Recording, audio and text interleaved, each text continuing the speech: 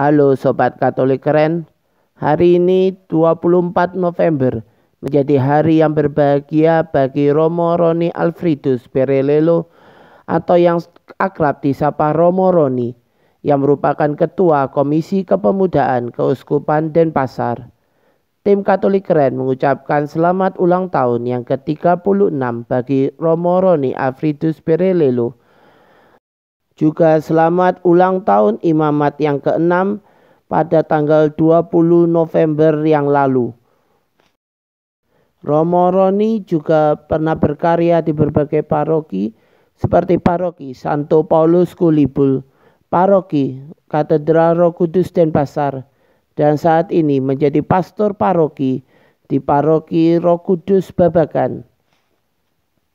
tim dan semua follower Katolik keren mendoakan semoga Romo Roni selalu diberikan kesehatan, umur panjang dan kesetiaan dalam panggilan dan karya pelayanannya di Kuskupan Denpasar.